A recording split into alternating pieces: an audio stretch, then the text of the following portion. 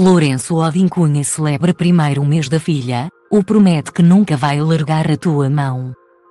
Ponto e vírgula Lourenço Odin Cunha recorreu ao Facebook esta segunda-feira, dia 6 de fevereiro. Para celebrar o primeiro mês de vida da filha, Ivone. Ponto e vírgula Lourenço Odin Cunha celebrou o primeiro mês de vida da filha, Ivone Adelaide Ferreira Cunha. O ex-concorrente da Casa dos Segredos declarou-se à menina na sua mais recente partilha de Facebook. Ponto e vírgula pai promete que nunca vai largar a tua mão até ao fim da minha vida um mês de ti minha pessoinha favorita.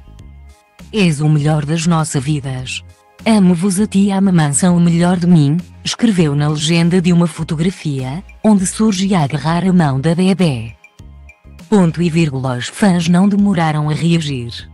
É a melhor coisa do mundo, tão fofinha, que fofura, serve a títulos de exemplo.